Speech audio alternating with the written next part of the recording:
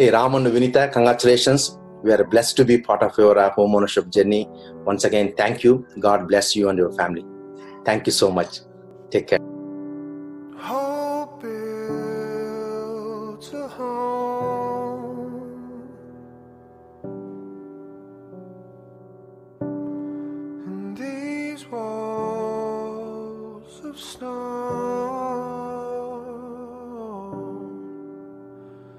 and it's where you need to be. Between the bricks and the fallen leaves, between the stones and